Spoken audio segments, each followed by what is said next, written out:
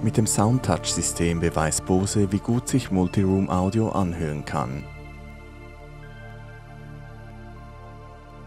Im Test sind die Soundtouch 10, die Soundtouch 20 und das Soundtouch Music System 4. Das System ist einfach erweiterbar. Mit zusätzlichen Geräten wird dieselbe Musik in jedem Raum oder unterschiedliche Musik in verschiedenen Räumen abgespielt. Die Kompakt HiFi-Anlage Music System 4 bietet ein CD-Laufwerk, DAB Plus Radio und eine Wegfunktion.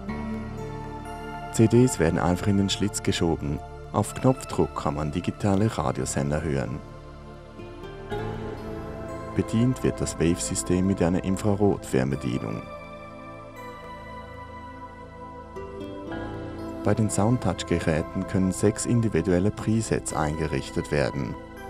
Die Einstellungen werden dann bei der Fernbedienung und den Lautsprechern automatisch übernommen.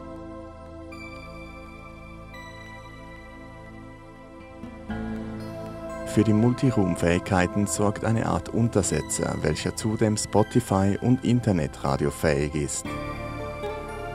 Zusätzlich kann die heimische Musiksammlung aus dem Netzwerk abgespielt werden.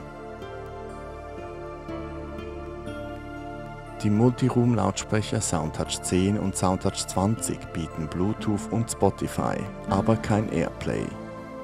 Sie überzeugen sowohl akustisch, aber auch durchs Design.